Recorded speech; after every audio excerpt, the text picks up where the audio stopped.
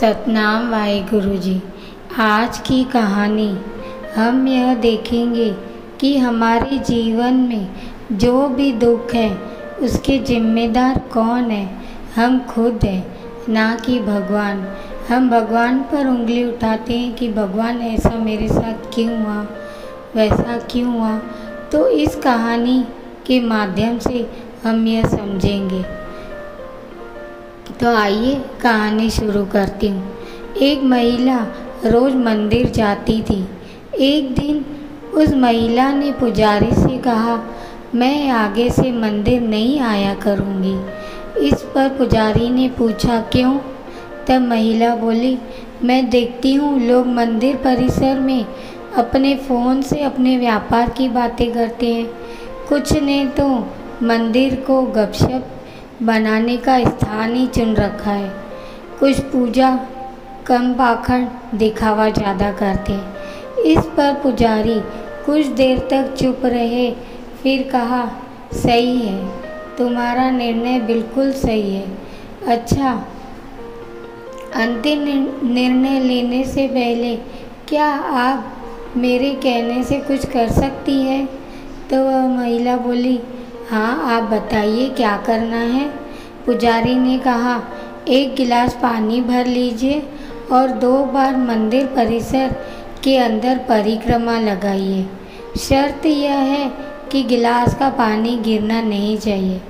तो वह महिला तुरंत बोली हाँ मैं ऐसा कर सकती हूँ। फिर थोड़ी ही देर में उस महिला ने ऐसा ही कर दिखाया। उसके बाद मंदिर के पुजारी ने महिला से तीन सवाल पूछे।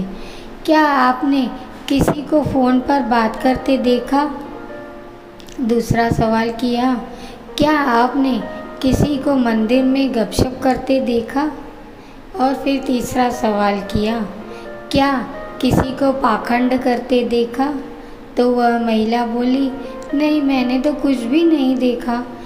फिर पुजारी बोले जब आप परिक्रमा लगा रही थी तो आपका पूरा ध्यान गिलास पर था कि इसमें से पानी न गिर जाए। इसलिए तब आपको कुछ नहीं दिखाई दिया। अब जब भी आप मंदिर आए तो अपना ध्यान सिर्फ़ उस परम पिता परमात्मा में ही लगा कर रखें। फिर आपको कभी कुछ गलत नहीं दिखाई देगा। सिर्फ़ भगवान ही सर्वत्र दिखाई देंगे। तो इस बात के बाद पुजारी ने कहा, जाकी रही भावना जैसी, प्रभु मुहूर्त देखी दिन तैसी।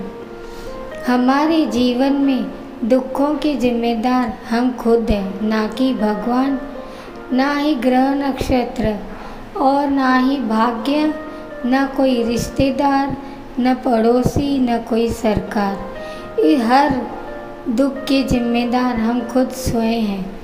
अगर हमारे सिर में दर्द होता है तो हमेशा हमारे दिमाग में फालतू विचार चलते हैं, जिसके परिणाम हमको सिर दर्द झेलना पड़ता है।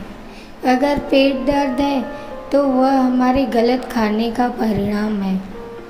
और अगर हमारे ऊपर किसी का कर्जा है तो वह हमारी ज़रूरत से ज़्यादा खर्चे के कारण हमारे ऊपर कर्जा आता है।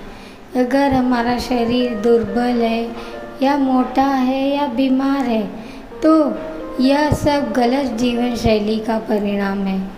अगर हमारे ऊपर कोर्ट केस चल रहा है तो वह हमारे अहंकार का परिणाम है। और अगर हमारे घर में फालतू वाद विवाद होते हैं तो वह यह दर्शाते हैं कि हम ज़्यादा और व्यर्थ की बातें बोलते हैं। जिस कारण फालतू विवाद होते रहते हैं। इन कारणों के अलावा और कई सैकड़ों कारण हैं, जिस वजह से हम भगवान को दोष देते रहते हैं। पर ऐसा नहीं है। हम सब इन कष्टों के पर बारीकी से विचार करेंगे तो हम पाएँगे कि इन सब के जिम्मेदार कहीं ना कहीं हम ही हैं।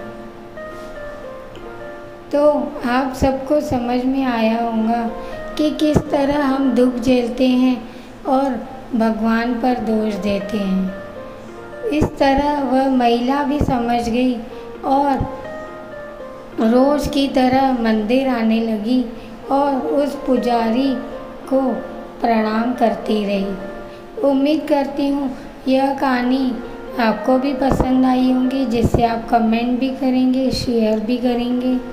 लाइक भी करेंगे और फाइनली सब्सक्राइब भी कर लेंगे।